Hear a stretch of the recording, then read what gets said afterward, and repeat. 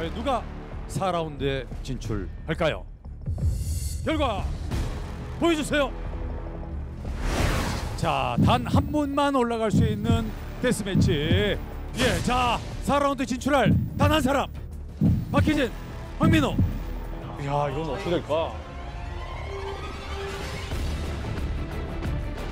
박희진, 황민호. 과연 누굴까요?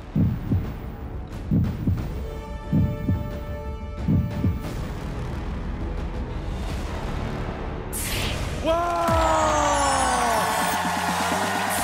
와! 와! 황민호!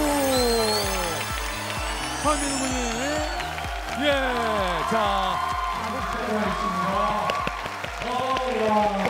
올라가. 자 결과 점수를 한번 볼까요? 오 심사위원 점수 거의 비슷하고요. 예 관객 점수에서 약간 차이가 났네요.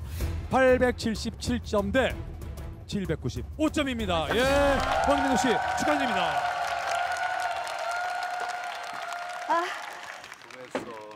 아 선배님 후련해요. 차라리. 어, 후련하네 후련해. 오히려. 어. 그래 그래. 아니야 정말 너무 축하하고 꼭 올라가. 알았지? 너 아까 우는데 막 누나가 막 아, 너무 잘한다. 형 꼭 도와줘 마지막까지. 네. 화이팅. 후회는 없는 것 같아요. 난 잘한 것 같고 또 이 정도면 잘했다.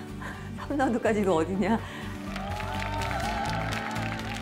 3라운드 1등 데스매치 결과 황민호 4라운드 진출